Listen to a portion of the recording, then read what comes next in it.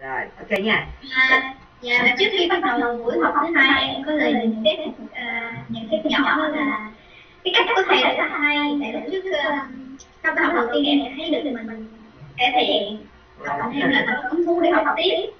Chứ còn với phương pháp thông thường em thấy là mọi người bắt đầu từ là mi mi mi ma ma ma học cái đó.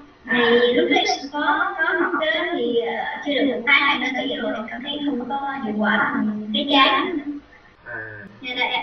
thầy rất là tiệc chia của thầy rất là ghê gớm. Ok.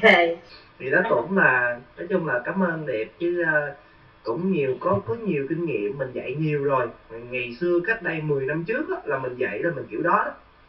Vô thì không có kinh nghiệm nhiều. Cái xong mà mình trải qua biết bao nhiêu lứa học viên. Cái mình thấy ừ không xài chiêu đó không ổn. Dạ.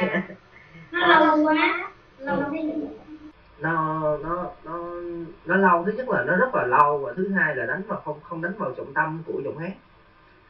À, à với lại học viên bây giờ hay là những người đi học à, cụ thể hơn gọi là khách hàng bây giờ thông minh lắm.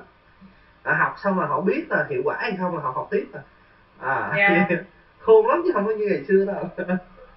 Tại vì có nhiều sự lựa chọn lắm lên mạng bấm cái là ra biết bao nhiêu ông thầy sợ gì Thế một phần em cũng ờ, em cũng muốn chia tới thầy em em thấy rất nhiều có nhiều giao nhạc viên ban tải thấy thầy rất là vui tính yêu đời. Cho nên em muốn ờ, hấp thụ cái ờ, cái nguồn năng lượng đó nên em mới đăng ký học thầy. Năng lượng uh, tích cực tức là cười cười hoài đúng không? Cười mặt hả đúng vậy ai chửi cũng cười lên mạng bị bao nhiêu người gì dìm cũng cười. Rồi ok. À, cảm ơn Dạ. yeah. nha